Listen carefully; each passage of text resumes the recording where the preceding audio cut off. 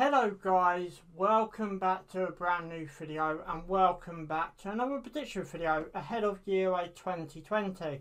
I'm going to try to predict, and as you can tell by the title, all the group positions. Where will they finish after they played their three games? I think it is in the Euro. So anyway guys, let's get straight down to it. So guys, you know what to do. Subscribe for more, give us a big thumbs up if you enjoy it. Thanks for watching and let's go. So, starting off with Group A, we got Italy, we got Wales, Switzerland and Turkey. Um, now this works out a bit different as you can tell on the screen now. I've got all the teams there already. I'll put Italy in first. I just think Italy will have a bit of a, you know, a really good run between the three clubs. I'm expecting possibly a draw between Wales and Italy, obviously being my uh, prediction videos later on during this uh, tournament. But I just stuck Wales in second. I think Wales um, having a good run back in 2018. Um, I think they might put them in good stead. So that's why I put them in second. And then obviously the last two, I was twisting and turning about these two. But I decided to go with Switzerland in third. Um, I just think I got slightly bit more overage than Turkey. So that's why I went with that order. Um, but yeah, it's got to be a pretty good group. And um, there's one group that's got my mouth really watering. I'll be looking forward to watch. But anyway, on to Group B. So Group B, we have Russia, Denmark, Belgium, Finland. Um, I'll put Russia in first. I just think maybe Russia could do a bit of damage. Um, consider it's played all over Europe. I'm not sure whether it's been played uh, some of it in Russia or not. But you know, Russia did have a pretty good 2018. Ain't really had a bad run, I don't think, going into this competition. So I just put Russia on top. I did have a twisted turn between Russia and Belgium to go top. Russia just edged in my mind slightly. In second, obviously I went with Denmark.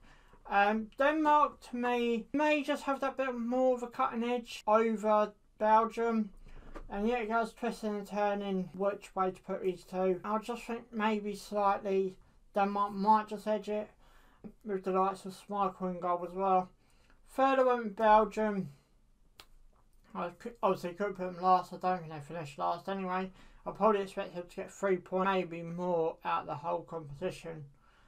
Yeah, but I think I get more than three points surely. Um, and then fourth, I went Finland. Um, Finland to me, bit of a strong group to come out of, if I'm being honest. So I went with Finland in fourth, expecting them to maybe get a point or two. The only, yeah, I possibly think they should get point or two out of the group. I don't think they go home point. Euro 2020. Group C, I went with Holland, Ukraine, Austria, Moldova. Moldova, I've never really heard of the country. Obviously, Holland are down as the Netherlands, so I put them down as Holland because the Netherlands won't fit in the box. But you know who they are anyway.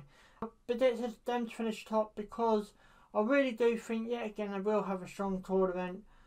I you know, Holland do get underestimated from time to time. Uh, maybe not as strong as what I used to be, but still a strong team none of the wiser. Second, I went with uh, Ukraine. Why I went with Ukraine over Holland is I just think maybe Ukraine will miss out on that cutting edge. Maybe in front of goal, maybe at the back. I'm possibly thinking more at the back than, you know, at the front of goal. Third, I went with Austria. Again, a bit of a hard running for Austria um, which will put them in third spot. And don't forget, I think they do have a third, third or fourth playoff game when the group stages get done. Um, well, I did that purely for the matter of fact of, you know, I can't see Australia beating Holland or Ukraine. Moldova, more than likely, which why I put Moldova bottom because obviously I can't really anywhere closer to Austria or Holland or Ukraine.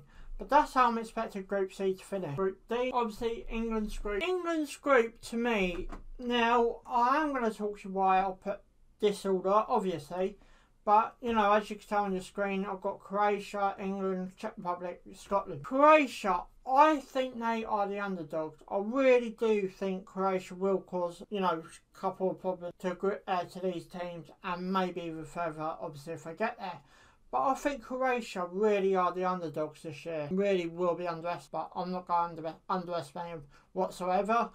Second, I went obviously with England. England don't qualify past the group stages. I will not be a happy bunny, but that be me as long as all the other England fans. We must get past the group stage after reaching the semi final in the 2018 World Cup. But it's going to be another interesting game. Third, I did twist between these two, between England and Czech Republic. I just believe Czech Republic will miss out on on the uh, top two.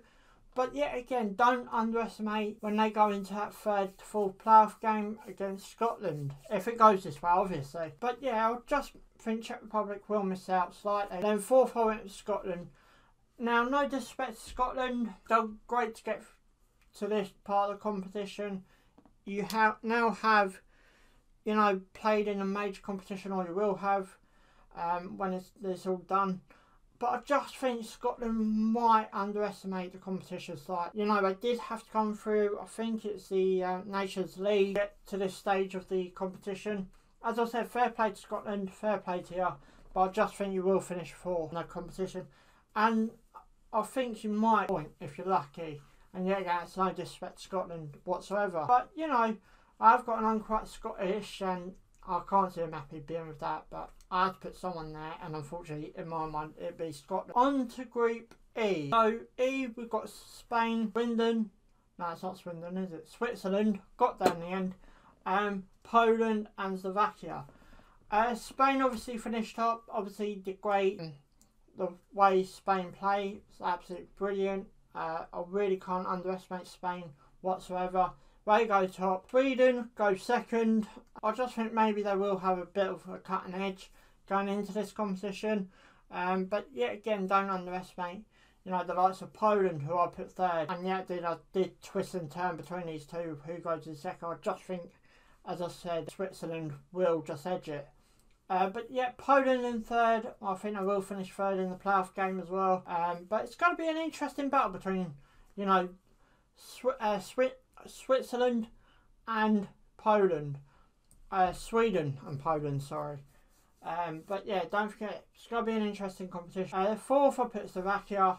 Um, yeah, again, no disrespect. Really can't see them getting anywhere near the top two. Um, and I think Poland will just edge it over Slovakia. So, you know, but now on to Group F. Group F is got my mouth watered. The first time I actually looked at the groups when I was doing setting all this up for you, um, and it really got my mouth watering. And I'm gonna watch this group with, you know, a lot of love for the game. Um, but anyway, I've gone first with Portugal. I've gone Portugal first. Yet again, would it be Cristiano Ronaldo's last major competition for Portugal? That's in, you know, uh, talking I reckon it will be, you know, but he's had a great career. But yeah, I just think Portugal will edge top spot. Second, now I did have a twist and turn between these two countries as well, between Germany and France.